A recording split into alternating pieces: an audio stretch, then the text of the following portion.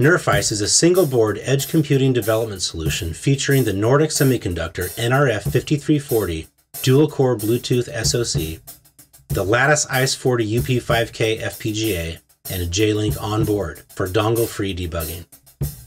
Both the FPGA and MCU code can be updated via the open source Android app, making NRFICE the most accessible and easy to start up FPGA, IoT, or edge computing development system available.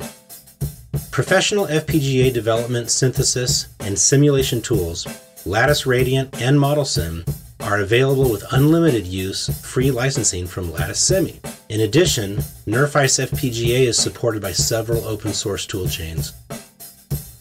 Every FPGA project needs a microcontroller to interface it to the outside world.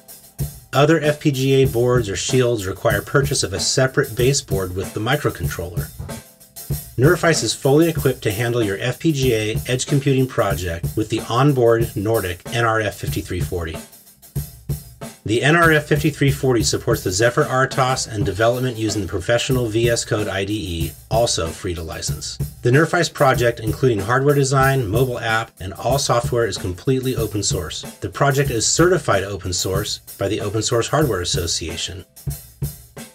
Please support the NRFICE project by going to our pre launch page at crowdsupply.com and subscribing for updates.